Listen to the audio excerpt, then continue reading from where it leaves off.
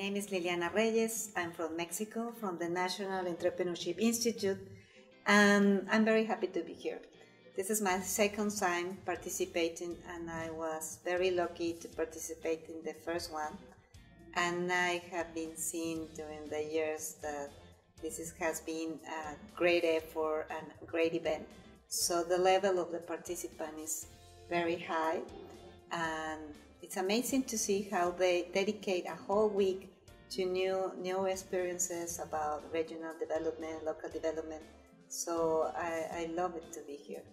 We're very happy to have you here, and Thank you. I'm lucky enough to get to work with you on other initiatives outside of, course. the ACE. Um, and I think that it's great that you've you've already hosted one, so you have a lot of that perspective. But um, you also are someone that I that I've seen use the experiences from this tour to um, in some of the other projects that you run. So I don't know if you could talk a little bit about how you apply some of the lessons of these tours to sort of the other things that you do in your job and and if there are any things specific to what you've learned here this week that you that you look forward to taking back to Mexico.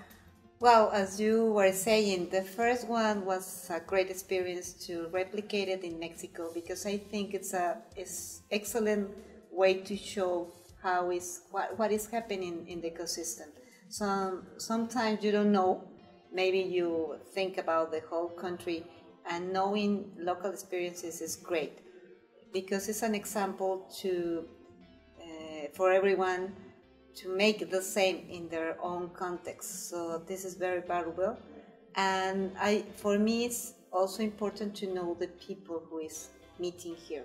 I mean, having a whole week with high level decision makers is great.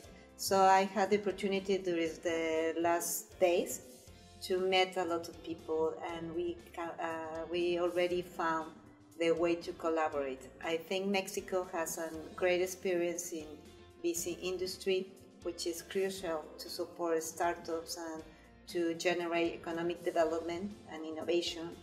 So I think that we can share experiences. Everyone is very exciting about visiting Mexico, also to know what we are doing, and to have the personal contact is still very important. So mm-hmm.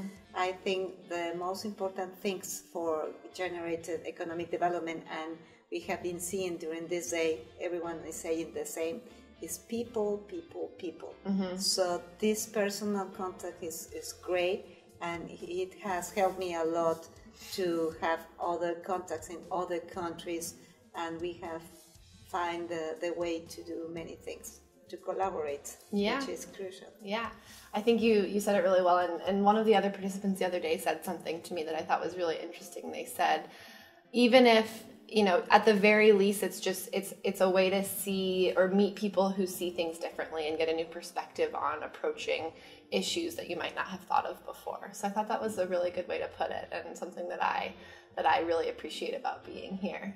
Yes, Um, and then it's not just, or not all the things that you see here applies to the work you are doing. Of course, as a policymaker, you have a broader view of the things and politics, um, policy, sorry, but it's more a way to make a benchmarking. Uh, the first time I came to this ACE, it was like, I don't know if Mexico is doing something about it, so let's check it. Yeah. And sometimes you are surprised about that Mexico or your country is doing something else. So you can connect other actors that are not here to let them know about what is happening in small places, uh, great places. Mm-hmm. So I think it's, it's great. Yeah, and I and I think that's right. And I think the best part about this is to have people like you who can go back and, and explain the value of these relationships to people in your country and, and that's that's why we're doing this. So we're very happy to have you here. Me too. Thank you. Thank you.